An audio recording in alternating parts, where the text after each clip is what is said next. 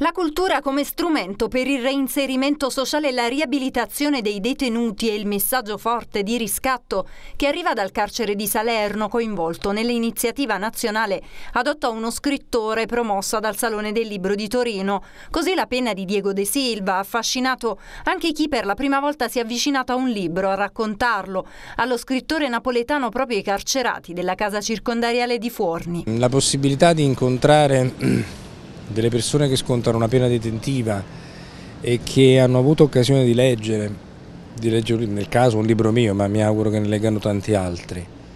Sono stato colpito anche dalla, dall'acume che molti lettori hanno.